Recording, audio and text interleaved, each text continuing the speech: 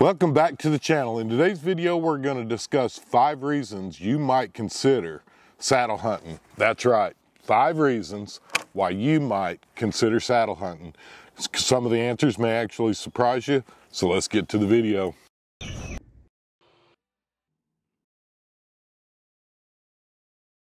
I want to preface this and start out by saying I specifically only hunt public land. So for me, and especially this year, I'm actually hunting a new area in East Texas that I've never hunted before. So one of the benefits to me in my mind is this is a lightweight way to get into a new area. And I'll tell you kind of what I'm doing, guys. I'll do a lot of what you might call scout hunting. And when I say lightweight, we also need to understand by the time you have your saddle, your climbing sticks, a platform, or ring of steps or any of that, you're probably realistically only going to be saving maybe five to eight pounds because all that stuff adds up to weight. And if you got a nine or 10 pound tree stand, you're not saving much weight. So probably a better way to say it would be, I've got a slimmer profile to make it through the thicker stuff, especially when I'm scouting, because what I typically do is I'll find an area on onX, I'll look do my best scouting that on onX. And then when I get out there, I go until I find good sign or fresh sign. So I, in my mind, having that thinner profile because I don't have the stand that's grabbing a hold of brush and greenbriers and that kind of stuff. The second reason that you might consider hunting out of a saddle is this. I've been in situations before where I got set up early in the morning and I noticed that I'm seeing deer 50, 75 yards away that are crossing in a place that maybe I didn't see on onX. I find it easier for me and quieter to take that small amount of stuff off the tree and then move. So it makes it a lot easier to move if I need to. Again, I'm bow hunting. So being at, having that ability to move quickly and efficiently is another reason that I chose to do this. Another thing that I enjoy when I'm saddle hunting is when I'm in an area and I find a place, and this is another perk, I have found that there's a lot more trees available that I could put a tiny platform in. A lot of the areas that I'm hunting, especially in this new area, has a lot of new growth and I can get into a much smaller tree.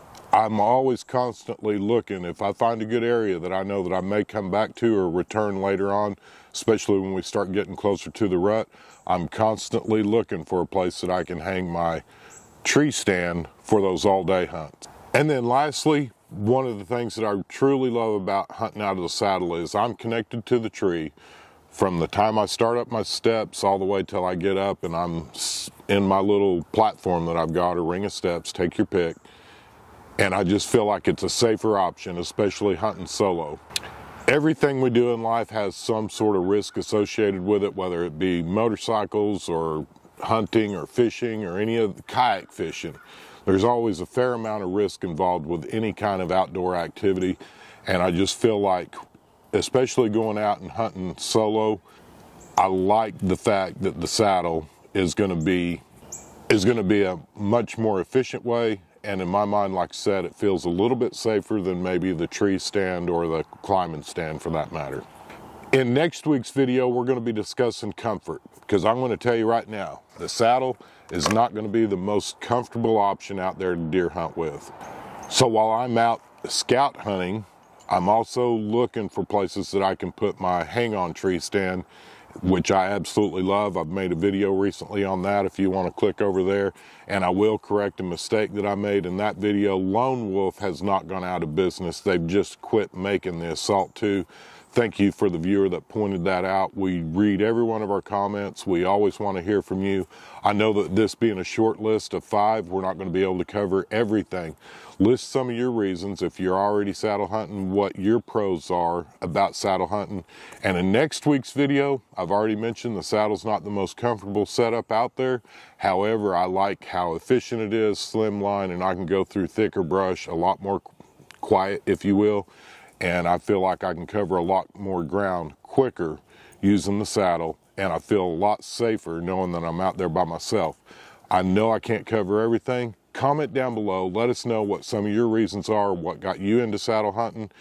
And I will tell you this, these videos are inspired by a friend of mine that I've started hunting with this year. He's been able to go with me a couple of times already. He's never hunted out of a saddle. He's been either in a climber or a lock-on. And that's what inspired these videos is I'm trying to help a buddy out. If you like this video at all, consider giving it the thumbs up. We appreciate your likes. It truly helps our content and the more people that like the video, it helps the algorithm and YouTube and all that blah, blah, blah stuff. At the end of the day, we just want to try to help everybody that we can.